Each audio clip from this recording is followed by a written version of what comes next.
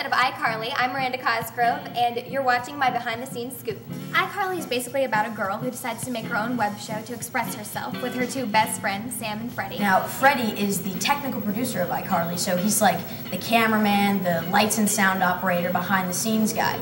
Sam on the show, she's really feisty and witty, and she's really funny.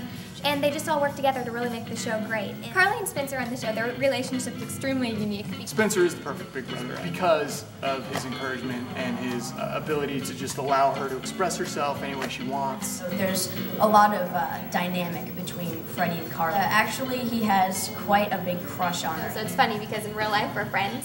So it's hysterical to be on set and he has to immediately like put on this crush. Sam, it's a little bit of a different story. There's always a tension between the two. But he's kind of geeky, and Sam does not like that at all. So, you know, there's the insulting, trying to put each other down, getting comebacks and all. Arguing back and forth, they just don't like each other at all. But deep down, I think they really, they really do care. But Carly's role in iCarly, she kind of has to calm Sam down sometimes because she goes crazy and she's wacky and will do whatever she wants. Carly's really kind of calm, cool, and collected. There is a really great chemistry on set between uh, Miranda and Jeanette. They talk secrets, they go like this and think they're talking about me.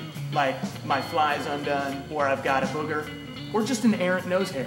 The chemistry on set is awesome. Everybody gets along so well. And Um, so they just start going, and then they like scurry off somewhere.